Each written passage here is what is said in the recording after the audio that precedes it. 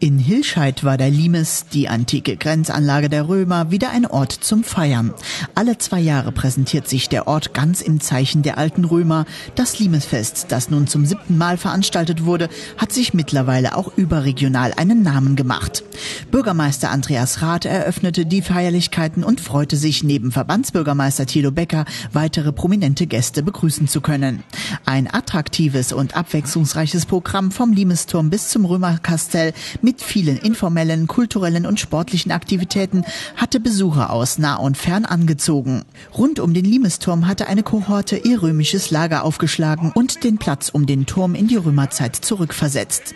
Rund um das Lager fanden sich darüber hinaus eine Reihe von Verkaufsständen, an denen das römische Handwerk aus nächster Nähe betrachtet werden konnte. Neben Vorführungen und Workshops zum römischen Handwerk gab es eine Fülle von interessanten Stationen, die zum Lernen und Mitmachen einluden.